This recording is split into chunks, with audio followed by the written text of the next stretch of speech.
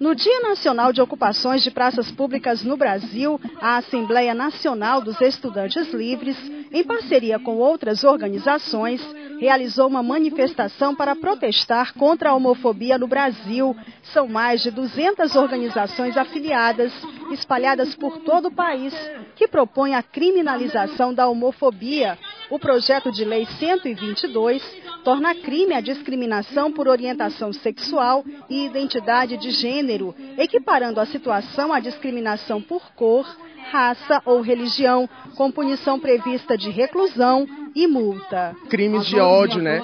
Que contra idosos, contra pessoas deficientes físicas e mentais. Que é um projeto de lei que visa criminalizar as pessoas que discriminam gays, lésbicas. Em Teresina, a manifestação aconteceu na Praça da Liberdade e reuniu estudantes e militantes de movimentos de homossexuais.